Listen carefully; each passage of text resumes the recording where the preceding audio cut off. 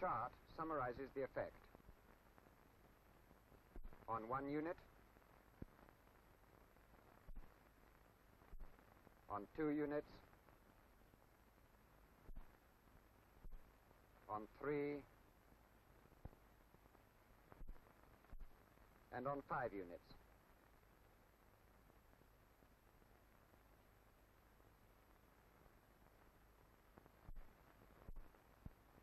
Photography at normal speed shows the movement of the toxic cells.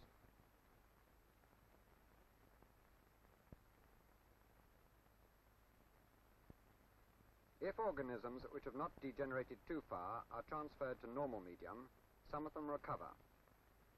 Watch the top left-hand cell. The lower end will give rise to normal cells. The numbers giving rise again to normal bacteria depend on the previous dose of penicillin and the length of time that they were exposed to it.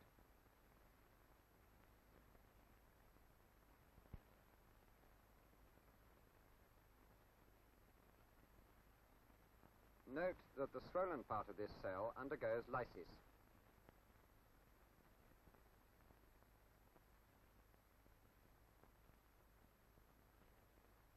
The bacillary cell wall can also be dissolved by lysozyme.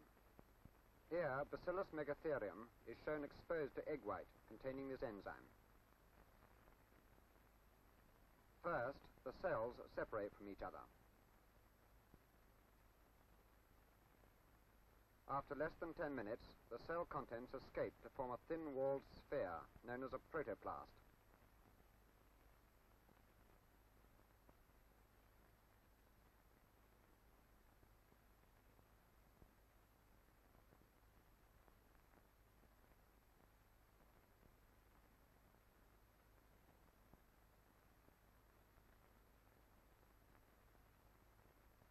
Protoplasts are also produced by penicillin if the swellings are prevented from bursting by making the suspending medium hypertonic.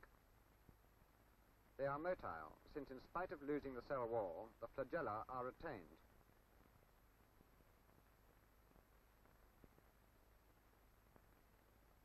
The production of long forms and cells with weak walls may be the result of many forms of trauma and is not specific. Here is a strain of the coliform group which gives much the same appearance when subject merely to anaerobic conditions. There was no other abnormal factor in its environment.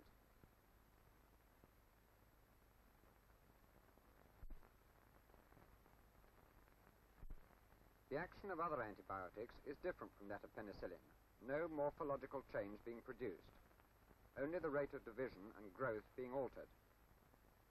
The effect is well illustrated by the action of chloramphenicol on a strain of Salmonella typhimurium, which is sensitive to 32 units.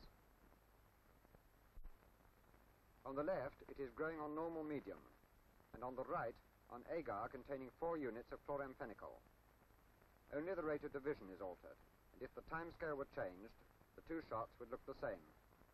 The direct relationship between the rate of growth and the dose of chloramphenicol is shown here.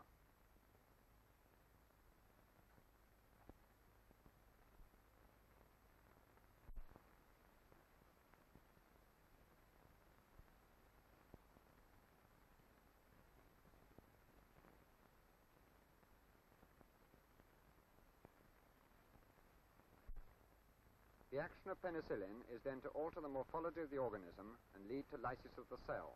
Chloramphenicol, like other bacteriostatic drugs, acts by increasing the generation time without changing the appearance of the cells.